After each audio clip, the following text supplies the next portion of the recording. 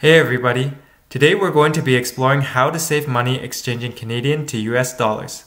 Let's get started. First off, let's begin by taking a look at how much this transaction would cost through a bank for comparison. The bank makes money by giving you less US dollars than what the actual exchange rate is. In order to figure out how much the bank is charging for this transaction, we're first going to take the Bank of Canada's exchange rate and subtract the exchange rate at the bank. The difference is the amount the bank charges you for this transaction. In this example, it would cost 1.71% to exchange your dollars. If we were to exchange $100,000, this would cost us $1,710. Fortunately for us, there is a neat little trick to do this transaction for a fraction of the cost. This method is called Norbert's Gambit. It involves three simple steps. The first step is to purchase an ETF called DLR. The second step is to convert your shares in this ETF from the Canadian holding DLR to the US holding DLR.U. Finally, the last step is to sell the shares in DLR.U and receive US dollars. To explain this in more detail, DLR is an ETF that is cross-listed in Canada and the US. The fact that it is cross-listed allows us to convert shares on the Canadian side to the American side. This allows us to purchase into the ETF with one currency and sell with the other. In fact, Norbert's Gambit will work with any cross-listed ETF. DLR, however, is tailor-made for this trick, as it only holds US dollars so it perfectly matches the exchange rate.